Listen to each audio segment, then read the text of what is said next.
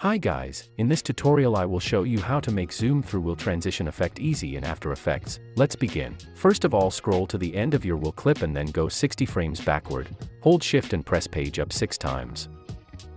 Now move your second clip below wheel layer like that and then make sure to select wheel layer and split in two pieces. We will need only that second part of a wheel layer and we have two options to make wheel zoom in transition. We can use it and leave it as a video, or we can freeze that layer and make things a lot easier. It will be easier because we won't need to track the mask after we mask out the wheel, but if we leave that second part as a video, we will need to mask and then track that mask as well. Let's do it on easy, make sure you are at the beginning of that second piece, then right click on it, go to time and select freeze frame. So first video goes normally and then it will be a still image. And now we can mask out the wheel. To mask I will use Mocha AE. In your case you can use any masking tools. In Mocha, I will select an ellipse tool and mask the wheel as smooth as possible. Once it's cool, we can save it and then close Mocha AE. Now let's expand matte and then click on create AE masks. Let's duplicate that layer and I will rename top 1 to zoom and then press M on a keyboard and change mask mode to subtract. Then select bottom layer and rename it to wheel only. I will toggle off wheel only layer for a while, cause we don't need to see it yet. Let's scroll to the beginning of a zoom layer now and then create new camera layer.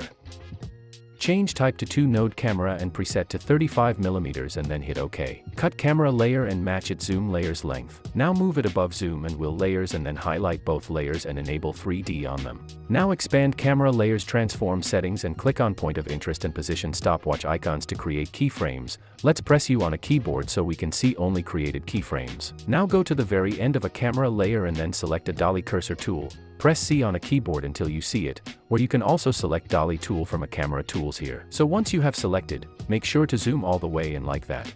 Now select both keyframes and press F9 on a keyboard to easy ease them, then go to Graph Editor, right click here and select Edit Speed Graph and then make a smooth curve. Let's close Graph Editor and check the effect. Nice, scroll to the beginning of a camera layer and then we can toggle on wheel layer and animate it as well. While wheel layer is selected, press P on a keyboard and then click on position stopwatch icon, then scroll forward something like this and move position all the way down. Select both position keyframes and hit F9 on a keyboard to easy ease them. Looks fine, but I think it will look better if we make a smooth curve in a graph editor.